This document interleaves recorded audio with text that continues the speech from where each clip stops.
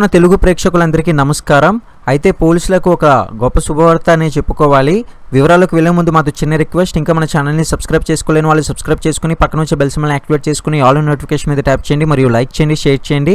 మేము పెట్టే ప్రతి ఒక్క లేటెస్ట్ అప్డేట్స్ మీరు పొందాలి అనుకుంటే బెల్ సిమ్మల్ని నొక్కి ఆల్ నోటిఫికేషన్ మీద ట్యాప్ చేయడం మాత్రం మర్చిపోకండి.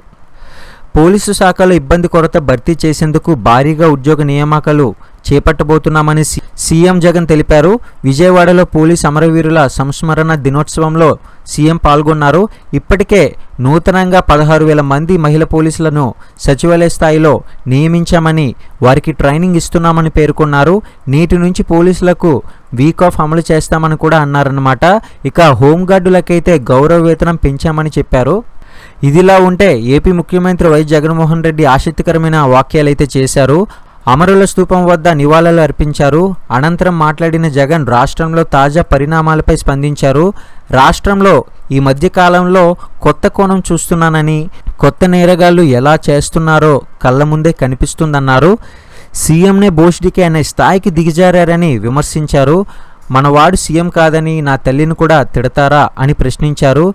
ఇలాంటి వారిని ఎదుర్కొని ప్రజల కోసం మంచి పాలన అందిస్తున్నానని స్థానిక సంస్థల ఎన్నికల్లో ఉప ఎన్నికలలో అధికార పార్టీకి అఖండ విజయం అందించారన్నారు. ఇక అధికారం రాదనే ఏపీపై విషయం చిమ్ముతున్నారని అన్నారు. రాష్ట్రంలో డ్రగ్స్ గంజాయి సరఫరా అంటూ పదే పదే అబద్ధాలు ప్రచారం చేస్తున్నారని మండిపడ్డారు. ఇటువంటి మరిన్ని లేటెస్ట్ అప్డేట్స్ కోసం మన ఛానల్ని సబ్స్క్రైబ్ చేసుకుని డైలీ ఫాలో అవడానికి ప్రయత్నం చేయండి. Thank you.